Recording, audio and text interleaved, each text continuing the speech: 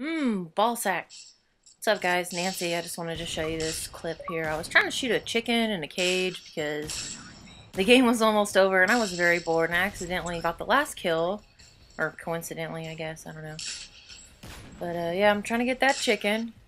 Slow it down. Whoa! Smash! I was like, whoa! I like, didn't even hit you in the shoulder and you're dead. What's up?